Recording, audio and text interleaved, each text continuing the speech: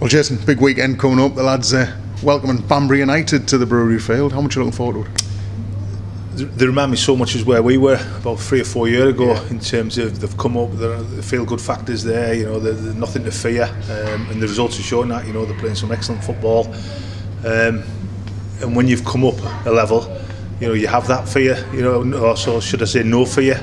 So we need to make sure that we're really on top of our game because, like I said, I said it in last week's interview that the results performances haven't been good enough. Um, and you've seen that you know there's a couple of players in. We've never we've been non-stop trying to get other players in. But the lads on the pitch on Saturday have got an opportunity to cement the players in the team and, and, and, the, and the club moving forward.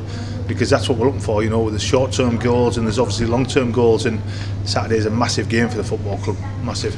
Yeah, I could sense that frustration from you last week after after the final whistle, and, and, that's what we want a reaction to, isn't it? We want you know to use the anger we felt at the result last week to, to drive us positively this weekend. Definitely, you know, the teams that we've always had at Spennymoor, they've been hard to beat, they've been committed, they've been on the front foot.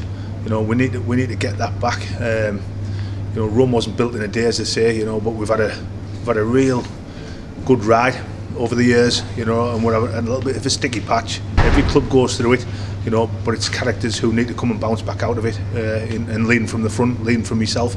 You know, it, it hurts more than anybody when we get beat uh, because the club's so close to my heart. But like I said, moving forward, we've got to take small steps. And Saturday is a big, big game in terms of where we need to be in our destiny for the league because, you know, we're looking at the wrong end of the table rather than the right end of the table, and the players that we've got in this dressing room shouldn't be in that case and you know, of course, that the fans are going to stick with you. They've been there all the way through this this ride over the last few years, and and, and they can really play a part now, can't they? Massively, you know, massively. Like you, you look at the.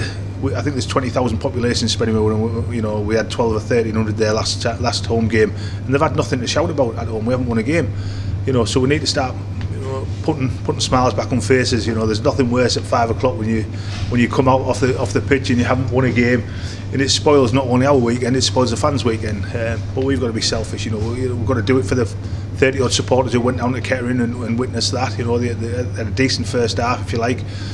But again, we, we, we didn't see the game out. We've got to make sure our 45 minutes turns into 90 because we've done it in spells, but we haven't we haven't done it really over over a period of, of 90 minutes, and that's what we're looking for on Saturday and it's to do justice the, the volume of work that's going into every game. You know, I see it when I come to the training ground here, yourself and, and Lewis now coming into the club, and, and, and Jamie Chandler, you know, putting so much effort into the preparation for every game, and yourself darting across here to get to training as well. That amount of effort, it's got to build up and, and, and be rewarded at the weekend. Yeah, of course it does. And, and like I said, the, the, the, the, amount of work that goes on, just not on a Tuesday and Thursday, it's, it's every day of the week.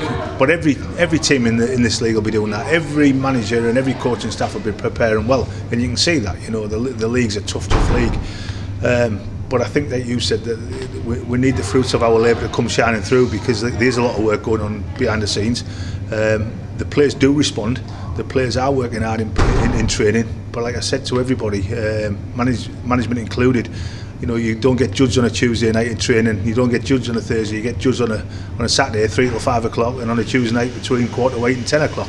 So yes, it's nice to, to see the lads with a smile on the face because, like I said, when you when you're not winning games, sort of a doom and gloom in the camp. But that's not the case here. You know, but they, they realise now. You know, we've brought hopefully a couple of players in this week. There will be more players coming in. You know, and it's up to them if they want to stay at this football club because it's an excellent football club to be at. You know, they've got to earn the shirts. and just finally looking back at Saturday, I had the pleasure actually of visiting Banbury last year with when I was working for Barrow, and it is, like you say, a very well organised, ambitious football club. And the, the, how impressed have you been with the way they've stepped up to the new level? Yeah, massively, massively. I, I, I'll say back in the interview, I remember the first year we came up, you know, we had Stockport County at home, and you, you, you're sort of rubbing your eyes together and thinking, how the hell are Spennymoor playing Stockport? And we beat them, and then we beat FC, and we beat Bradford, and you think, yeah, this league's easy. uh, and, and, it, and it certainly wasn't, you know. But like I said, and that's similar to, to these. Um, you know, they've, they're, they've got a feel-good factor, but we know on our day, if we perform anywhere near our capabilities, we'll be a match for anybody. Um, and we need to start making Spennymoor as a fortress, and, and hopefully that starts on Saturday, because we've got the first of two big games